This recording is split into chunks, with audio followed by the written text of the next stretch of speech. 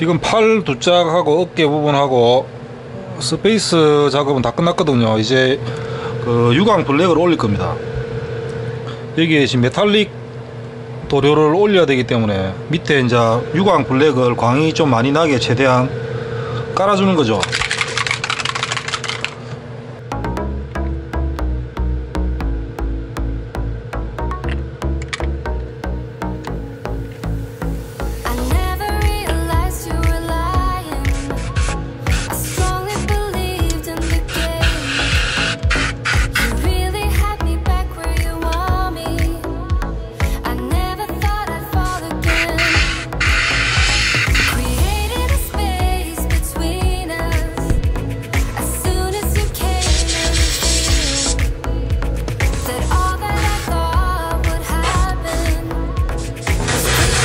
유광 블랙입니다. 유광 블랙.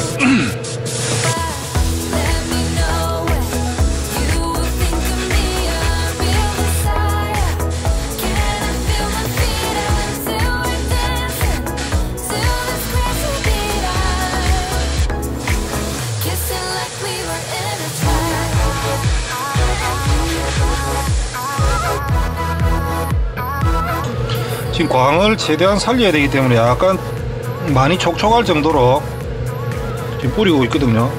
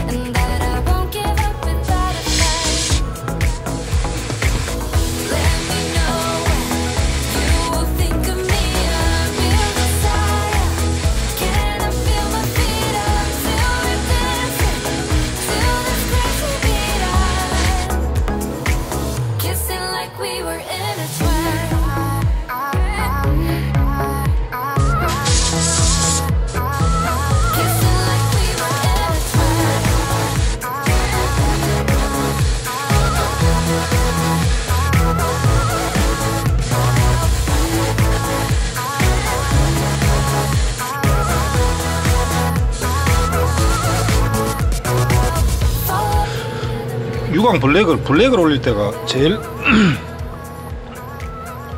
시원하죠 뿌리는 맛이. 도색이 새까맣게 딱이 되는 느낌이 상당히 좋기 때문에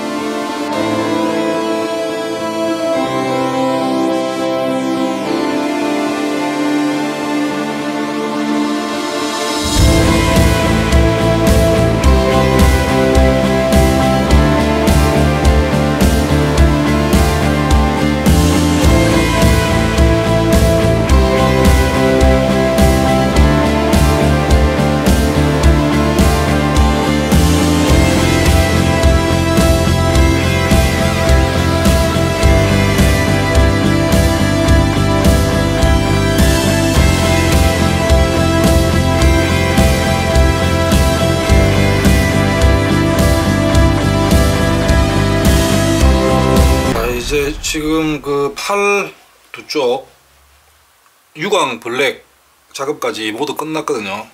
지금 뭐 부품 두 개만 들고 와봤는데 저기 옆에 지금 다 꼽아놨습니다.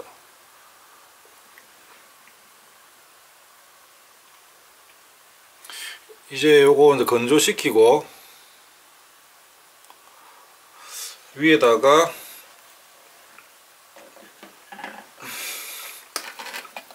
어, 어디야? 어. 어? 아니. 그 프레임 같은 경우는 super fine 스테인레스 이걸 쓸 겁니다. 지금 있는 게 제가 많이 쓰는 건 원래 super fine 티타늄을 많이 썼었는데 지금 그게 없고 지금 이거밖에 없거든요. 색깔은 거의 비슷합니다. 근데 티타늄이 super fine 티타늄이 약간 그 노란색이 약간 띄거든요. 그래서 색깔이 조금 좀 고급스러워 가지고 저는 티타늄을 많이 썼는데 이번에 이거 스테인레스를 뭐 때문에 시켰는지 차 오토 한다고 이걸 시켜 가지고 지금 이게 많이 남아 가지고 일단 이걸로 다 되지는 않을 것 같은데 이거 하나 더 시키든지 해서 이거 건조되면 위에다가 이제 이걸 올릴 겁니다. 이거는 제가 설명드렸듯이 흩날리듯이 최대한 얇게 올라가야지 이게 최대한 효과를 볼 수 있거든요. 그 지금 뭐 이거 라카 도료 같은 경우는 유광 블랙 이거는 일반 라카 도료라서 뭐 건조하는데 뭐 그냥 하루 반나절 정도만 놔둬도 충분히 다 건조가 되기 때문에 일단 바로 요 위에다가 이제 super fine 스테인레스 IPP 도료입니다. super fine 스테인레스를 지금 올릴 겁니다. 일단 유광 블랙도 뭐 깨끗하게 잘 올라갔습니다. 근데 옆에 아까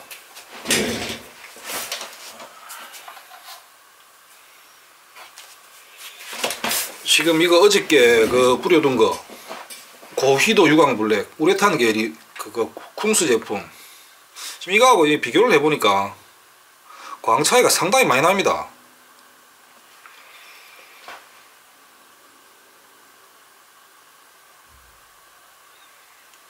지금 뭐 유광 일반 유광 블랙도 잘 뿌리시는 분은 진짜 바짝바짝하게 잘 하시는 분도 있는데 뭐 제 수준에서는 이게 다거든요. 똑같이 똑같은 제 실력으로 지금 뿌렸 뿌렸는데도 그러니까 이 차이를 확실히 알 수가 있죠. 광 차이를.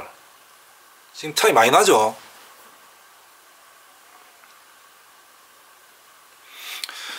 완전히 이거는 지금 우레탄 그 클리어 마감을 한 것 같은 느낌이 그대로 듭니다. 지금 건조될수록. 근데 이거는 그런 정도까지는 그 정도까지 느낌은 안 되거든요. 이렇게 보시면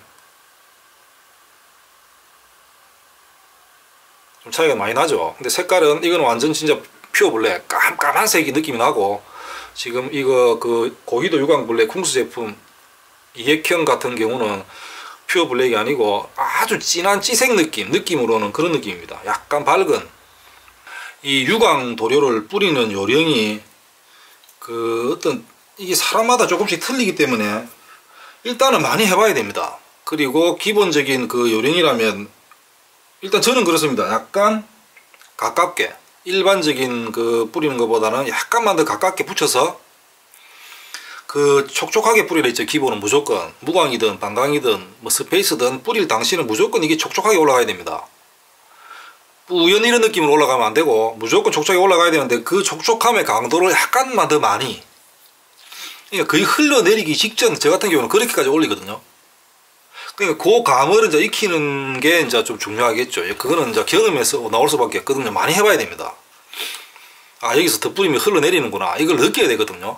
이걸 내가 뭐 많이 해서 몇 분 몇 초 뭐 트리그 몇, 몇 분에 몇을 당겨서 뭐 어떻게 하라 이게 말, 말이 안 되잖아요. 이게 그렇죠. 그러니까 무조건 많이 해보고 실수도 많이 해보고 많이 조져보고 킷도 많이 버려보면 이 감이 옵니다. 저 같은 경우도 처음에 이게 도색 시작할 때 킷 뭐 몇 개는 버렸거든요. 이리저리 막 하고 싶은 대로 다 해보고 이렇게도 해보고 저렇게도 해보고 일단 싼 걸 사서 막 연습을 많이 했습니다 그때. 그 하다 보니까 아 이 정도 하면 이 정도가 되는구나 하는 느낌을 느낌이 오기 시작하면서 이제 그때부터는 그런 이제 실수는 거의 없죠. 아 이 정도 딱 느낌이 이제 바로바로 오게 되거든요. 그러니까 지금 뭐 저 같은 경우는 약간 가깝게 조금만 더 가깝게 조금 더 많이 촉촉하게 그렇게 하면 하니까 저 같은 경우는 광이 좀 많이 나더라고요 이게 그래서 뭐 이거 유광 도료 그 뿌리는 방법은 스스로 일단 그런 기본적인 약간 요령을 그 알아두시고 연습을 많이 하시는 수밖에 없습니다. 이게 뭐 프라모델 도색 교본 책이 있는 것도 아니고 이거는 뭐 다 모든 이 그 자료들이 다 경험에서 나오는 것밖에 없거든요. 근데 경험이 자기 스타일에 따라서 다 틀리기 때문에 누가 맞다 누가 틀리다 말할 수도 없습니다 이거를. 그러니까 자신만의 경험으로 이걸 터득하시기 바랍니다. 그러니까 일단 무조건 많이 해봐야 됩니다. 많이 뿌리보고 해보는 수밖에 없습니다. 일단 다음 시간에는 요, 요 건조가 되면 super fine 스테인리스 이거를 위에다가 올릴 겁니다. 감사합니다.